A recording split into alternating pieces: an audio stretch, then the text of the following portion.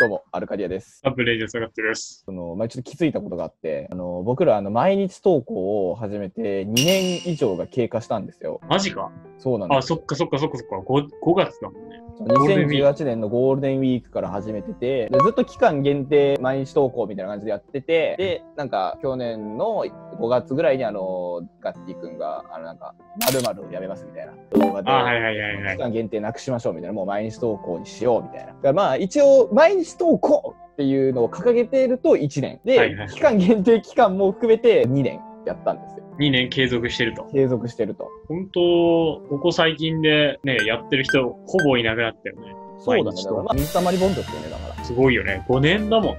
まあ、で我々も毎日投稿2年続けてきまして、これだ。あの100本以上ってこと。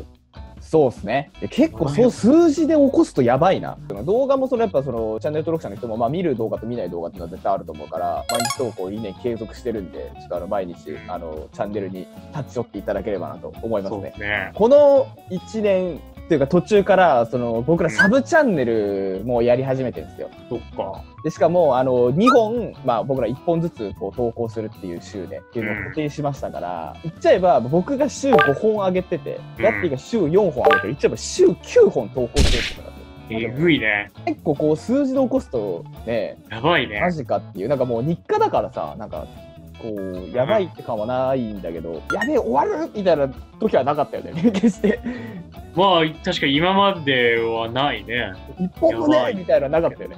これキープしたいですね。ストックも常にある状況で、毎日ストックをキープするという。少なからずね、やっぱムスタング君が動画をくれたっていうのは結構でかいかなって、俺的には。結構上げてますもんね。ムスタング君編集の動画を。そうだね。画面越しにムスタング君に感謝を伝えたいと思います。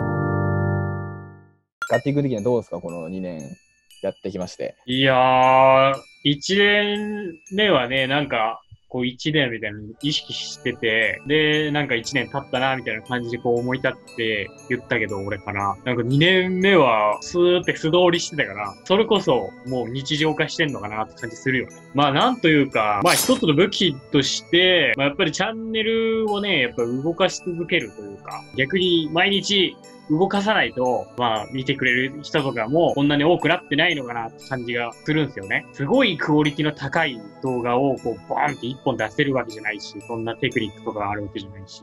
そこの部分では、もう毎日、もう必死に、もうやっていくっていう、もうそこでもう他の人たちに食らいついていくっていうか、それが形になってるのが毎日投稿なのかなっていうふうに、俺は思ってるね。やっぱり、あの、チャンネルも結構こう生き物かなっていう部分があって、やっぱ動き続けないと死ぬと思うんですよ、絶対。そうそうそう。どっかね、誰かに目に触れてないとね、こう毎日アップしてて。これからも走り続けていきましょう。